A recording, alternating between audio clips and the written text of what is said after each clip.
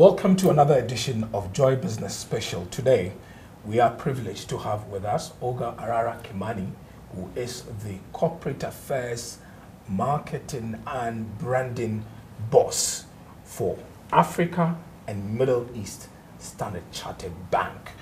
She is going to be speaking to us uh, about the operations. She's in Ghana. Obviously, something got her here and things are happening with regards to your bank, which is Standard Chartered Bank. And she's going to be telling us all the interesting things with regards to these banks and some of the things that they have under their sleeve. When it comes to digital banking, you know that it is Standard Chartered where you get what you want. That is where you can have all your transactions done seamlessly without any problem. And she's with me today to discuss even more into details what are the new plans that they have to excite you, the customer who's watching us today. Thank you very much, um, Olga. Thank you, Norman. Um, how you doing? Uh, let me ask that. I mean, Standard Chartered Bank. Uh, we've seen you move from the traditional way of banking more into the digital area. What got you to feel that look? Let's begin to move from the traditional way of doing things. Actually, a lot of it is driven by what we would say the client trends. Uh, you will see, particularly on the front of mobile telephony, the take up of that, and I think particularly in Ghana, is very big. I think probably 70% penetration in the last statistics, you know, that have been shared. But I think something that makes it even more interesting for us in Standard Chartered is that our country and our footprints, especially across Africa, Middle East, tend to be very um, geographically dispersed. So getting people to travel, to come and take advantage of what you were calling previously, you know, traditional channels of having to come into a branch are quickly falling away. So the more that we as a bank can tap into that, ensure that a lot more of our clients are able to access our services, has, is really driving the digital innovation. And really also as well, the element of getting people to use more mobile telephony to access their financial services. I see. When I look at um, Africa, Ghana, there are a lot of people who think that, no, we've not gotten there yet when it comes to the digital aspect of banking. They still have fears how do you allay these kind of fears for these people to understand that look you don't have to worry. You know what happened to the uh, cryptocurrencies issues where people got up they couldn't find their money and all that? How do you tell that customer that look you know what? Don't worry. We've taken care of everything. Just use the digital banking services that we have mm. I think actually it's two fronts for us, especially in a market like uh, Ghana. You will see the take up, particularly of mobile wallets, is very high. People are not worried about um, utilizing that to do financial transactions, whether it's peer to peer or paying for any um, services. And I think for us, it's also tapping into that. So it's not really about people then starting to invest into cryptocurrencies, as you've uh, you know alluded to there. But I think we provide as a bank a secure, safe, you know, mobile environment for them to be able to do their financial transactions. And in fact, on top of that, we're now looking at ways to even expand, you know, that offering. So from your typical current account or a savings account, we want them to be able to do fixed deposits. We're in future looking to enhance that to cover insurance and, you know, wealth management. So looking at mutual funds and things like that. But again, to emphasize that it's being done in a completely you know, secure environment, that they know that you've got a trusted financial institution behind the um, you know, investments or the type of transactions that you are doing. I'm sure that when you talk about the mobile banking, what we know is the mobile money wallets, and that is not really uh, running on online or getting proper into the digital space because mobile money wallets and the way we do the transactions. Maybe that's the reason why my grandmother sitting in the village is more comfortable using that. But when it comes to the digital side, where we have challenges. I mean, people feel that okay, I don't want too much of my details. I don't want people to be able to, you know, uh, get certain kind of information. Privacy. How does the bank handle it? So actually, to just correct you a little bit, Novan, in terms of the mobile wallets, with Standard Chartered, you actually can transfer money from your account to mobile wallet and mobile wallet into, um, you know, your account. So that is something that we've actually been having for a long time in terms of the integration we've been able to do with the mobile service providers. I think a little bit of education is required, and hence why you know we participate in some of these interviews you know, that are set up uh, with people like yourself, you know, around um, the Joy Business News.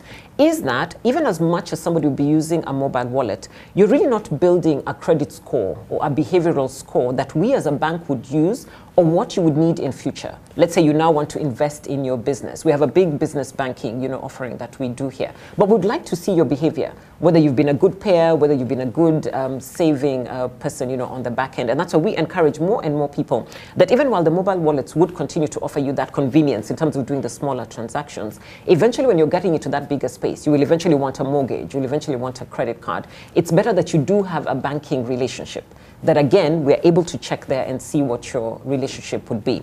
Does this qualify for your grandmother? I think so. There could be elements where maybe she's looking in terms of handling her wealth. How would she want to make sure that she's leaving a good legacy behind, you know, in, in future? And we are the bank that would probably be the best place to advise on that. And what sort of um, products you have? I mean, you, you talk of you have wealth, wealth, wealth. Somebody's watching and say, what is wealth? What, what is it about? Right. So, so wealth management from our back end, actually, it's very um, diverse because, again, we try to make sure that we're tailoring it to the individual person.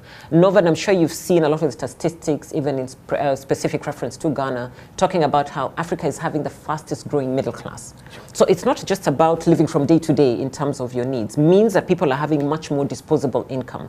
We then come in as a bank to say, as a financial institution, what are you doing with this additional financial um, you know, exposure that you have? Maybe you want to save in future in terms of an education system to take your child abroad. How do we help you in that journey? If you're a young person who's just started, you know, your job, and you're also looking to make sure that you're going to be financially secure in future. So our wealth management solutions cover that whole um, area. But again, as we said, it's not a one size fits all. We then go out and tailor individual requirements, whether you're a young person, you're a young family member, you've got children, and what it is you're looking to do. And what basically means that if you have extra money and you want to invest, you're saying that let's come to StanChart. What are the rates that you have that is better than what we see out there? Uh, In Ghana today, just before mm. you go ahead, I mean, we have a lot of challenges when it comes to investment. We've heard of the um, uh, what you call it, the DKMs. We've heard of all those companies that have had their own challenges. I'm sure you've heard Menzgold, even before you came to Ghana, you've read about it and all that, where people have taken their monies just because these people are given what we describe as outrageous interest. Mm -hmm. And investors are testy. Come on, they are looking for where they can get the best returns on their investment. So, from your side, what do you have to show? So, Novan, I'm not a qualified financial advisor. I need to make sure that that disclaimer is put there so that the viewers are also not rushing to come. It's something that we do a detailed assessment before any of those decisions, obviously, are given to a client to make sure that they're making the best advised decision. But I think what I can say is we are a bank that has been here for more than 120 years. We're a solid bank, you know, secure in that, you know, regulated obviously by the, the central bank. So I think we're well known in terms of, you know, providing solid financial solutions to our clients. And I think that is to the extent that I'll be able to, to comment on that. I think it is for the clients to obviously come over and speak to our wealth management advisors so that they can get the best advice on that. Well, whilst they come, you've been a banker for many, for many years. I mean, uh, what well, not that would many. you describe? what yes, would you describe as the best and right when you walked into a bank and you want to invest, and then you're hearing all the 10%, 20, 15, 25, and all that. I mean, ideally, what would you tell an investor if he walks to you and say, okay, I have $100,000 and I want to invest. Somebody says he wants to give me um, two, 25% per month uh, what is it that you have available? What would be the best advice you would give? So I think, Novad, I'll still push back on that. I think investment is a very personal decision. I don't think it's something that we will be able to cover all the available uh, solutions that would be there. So again, I think my advice to everybody else is ensure that you're talking to a qualified financial advisor, not listening to decisions that Olga or Novad probably would, would have made, you know, five or 10 years ago. I think it's a very personal decision that you need, but I think what is underlying is find a qualified financial advisor who would take you that, who would do a proper uh, assessment and then handhold you through the journey of making, you know, the best investment that would suit your needs. Okay, now let's move into your very area that you are in. I mean, we're looking at branding. What's the thing that makes, or what is the plan going forward in terms of your trying to position StanChart here in Ghana? Yeah. I, think my work has been made easy by the team that is already here. Uh, we in Standard Chartered Ghana are already recognized uh, as a thought leader. You know, we are recognized in terms of the client solutions that we've been able to provide. We've been recognized by being a, a strong uh, business. I think my work in partnering with our local team here is how do we now change it? And again, I think from the beginning of the conversation that we'd had about the digital adoption how do we make sure that clients are aware that there's a much easier way that fits in with their lifestyle to be able to do their normal day-to-day transactions where they don't have to worry about taking out maybe critical time from the family or from work to come and do banking?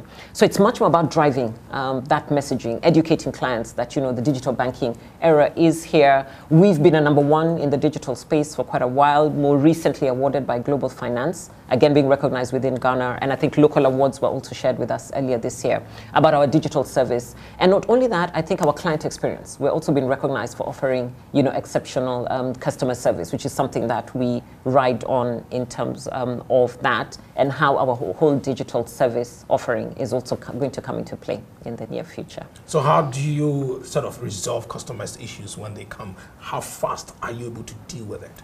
So, so, one of the things that we've done, especially in the mobile space, and that you're going to see very soon, is bringing in a lot of those service requests that people typically have to come to the branch. We're now making you do self-service. So, for example, you want a new checkbook, you need to change your PIN, you need a statement. Many of us normally need it to do certain transactions. Or more recently, I found out, you know, a lot of us in Ghana, you want to travel abroad, you want to go to the US or to the UK, and typically the embassy, they would ask you for a statement. Now you're able to use our SC mobile offering to request for that, and we immediately email it to you saves you time in terms of having to, to come and queue, you know, at the bank, or maybe in some instances, you know, contacting your relationship manager to provide that for you. So we've automated as many of those um, requests that typically people would have to come into the branch or call our contact center to get help with. So we're quite excited about that because I think, again, as I said, it's giving back time to clients. And then you're not worried about having to come to a bank between, you know, 9 to 4 o'clock when the bank is open. You can now do this anytime, anywhere, including weekends. We remain open 24 7. And you think that competition is not a problem to you?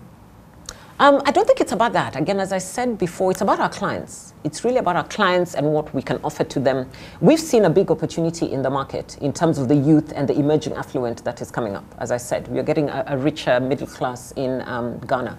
And we're trying to use, obviously, from our client engagement and communication to demonstrate for them that we would probably be the best bank for them in terms of their financial um, needs. Of course, not precluding that there would be competition out there, but we believe, obviously, in terms of what we'll be able to off offer our clients, would be the best that we can. You've been watching us. Um, this is the lady who sits at the helm of affairs with regards to corporate affairs, marketing, and branding with Standard Chartered Bank. Olga um, Kimani, she's been speaking to us, telling us what they have been doing. And she tells you, come on, I mean, competition is not a problem.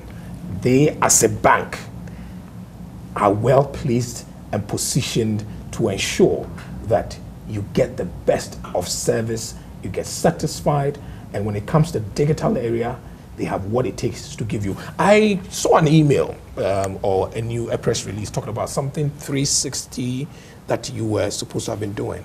Oh, the 360 Rewards yes. program. So yes, we launched rewards. this last week on yes. uh, Friday. Quite excited about that as well. So a lot of feedback that we did, because again, we do speak to our clients uh, quite a bit. They said that they would have appreciated, you know, an element of loyalty to show that in terms of the take-up that they've had with the product. So we partnered with quite a number of our uh, strategic alliances to be able to offer you now um, rewards whether it's in terms of free tickets, free fuel, uh, etc., depending on what it is. As you're talking about our 360 rewards program, this is something that we're quite excited about. We launched last Friday. It's really a loyalty program for our clients where we're looking to reward them, you know, with fuel, travel, shopping, dining the typical things that a lot of them would be getting um, involved in. It covers people who are doing debit and credit card uh, transactions. Are you not using this to kind of get more clients in the area of your digital banking? As I said, it's a reward program, but obviously it's one of those that we say that the more we can get a lot of our clients using the digital channels, the better it is for them. And even for us operationally from a back end, because we're able to service those requests a lot quicker than them spending time in traffic to come into the branch to get to speak, you know, to our branch uh, team members. So again, definitely uh, a, a, a path to making sure that the whole digital migration happens um, a lot quicker. So when you say that for your clients, it means that if I'm not a client of the bank, I cannot assess or be part of it? Oh, we are hoping very much that people will be very excited about the offers that we have in our 360 rewards, that it will be attractive for them to consider um, Standard Chartered. Uh, as you know, a banking institution that they would consider for their financial transactions. Thank you very much, Olga Arara Kimani. Thank you very much. Um, no she is the regional head, uh, corporate affairs, brand and marketing. That is for Africa and Middle East. And she's been speaking to us about what Standard Chartered in Ghana hopes to do going forward. If you're thinking of a place to bank, then it is Standard Chartered Bank that you have to be.